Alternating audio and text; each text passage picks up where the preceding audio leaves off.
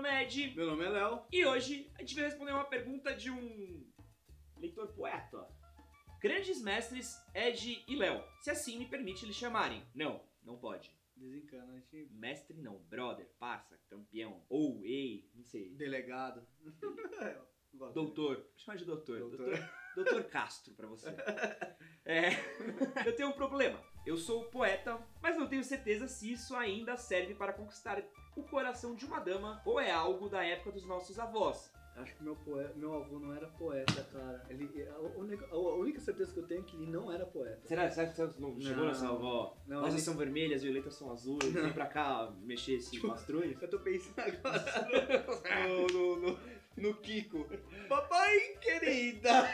É, eu acho que o mundo precisa de poesia, poesia é incrível, a gente adora É legal. poesia, literatura. É uma coisa bonita Mas não, cara. pros livros. É, Acho que um, vamos dar um passinho atrás. Você tá romantizando demais as coisas, meu velho. A maioria dos relacionamentos não são vindas de arrobos de paixão, de mostrar uma poesia, declamar uma poesia, sair correndo atrás de mulher na, na chuva. Não é assim que funciona. Você, mano, você olha uma mina, ela vai com a sua cara, você olha pra cara dela, você vai com a cara dela, vocês trocam uma ideia e se pegam.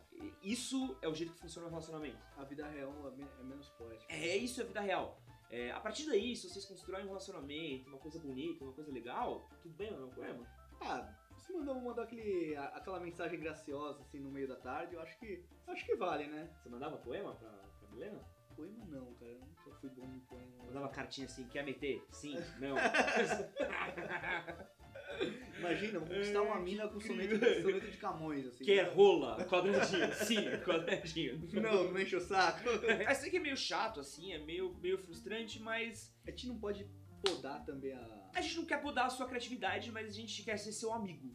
Então usa pra, pra fazer música. Acho que pode ser legal. É, ou, cara, tipo... Funk. É, poeta. O funk tá precisando de poesia, cara. Precisando de você Dom, lá. dom, dom, dom, dom. É, mas acho que poesia pro primeiro approach é pesado. É. É pesado. Imagina, se nunca trocou ideia com a gata, chega um poema. Eu corro. O poema, vai se Mania, fuder. Tipo, quem manda poema, tá ligado? Vai com calma, dá um oi. No máximo correio elegante, mas tem que ser aquelas bem diretas, né? É, dá, tipo dá- assim, gata, você não é, você não é um banheiro molhado, mas eu quero te passar o rodo. Ou então, seu pai, seu pai é agricultor, porque meu filho. Qual que é? Ah, esse é o tipo... Qual que é? Meu pa- seu pai é agricultor, porque eu porque eu, quero... fiquei, porque eu fiquei de pepino duro. Pepino duro? Não faz sentido nenhum essa piada. Ah, mas sei lá, que lá de pedreiro, né? Não, eu quero plantar o nabo em você, não sei. ah, essa seria boa, né? Mas, é, cara, sim, eu acho que ainda tem espaço pra poesia. Acho que dá pra você entregar poesia pras pessoas, pra você conquistar as pessoas com a poesia, mas antes disso, abra as portas do jeito mais sutil, porque nem todo mundo gosta de poesia, nem é obrigado, entendeu? Então, vai com calma. Dá um jeitinho, né? É, converse com ela, joga real, fala, tipo, faça, faça um diálogo simples, não precisa rebuscar.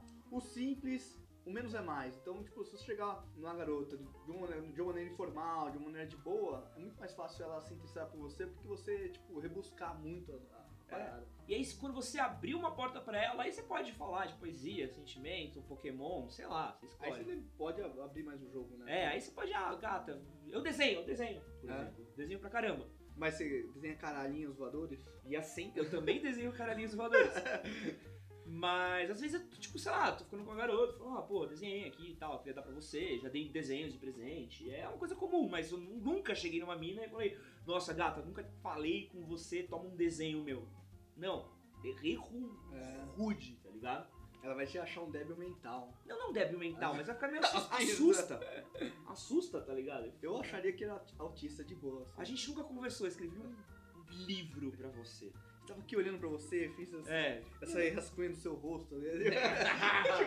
Leonardo DiCaprio É. aqui, o Kate Weasley.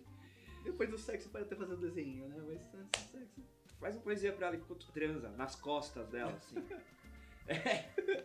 Comer o É. seu. É. Rosas são vermelhas, violetas são azuis. Passei aqui só pra comer o seu.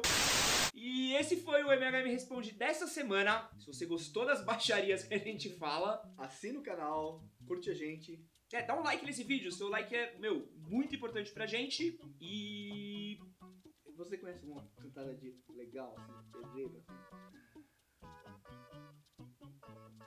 Ah, eu sei. Qual que é? Nossa, é muito ruim.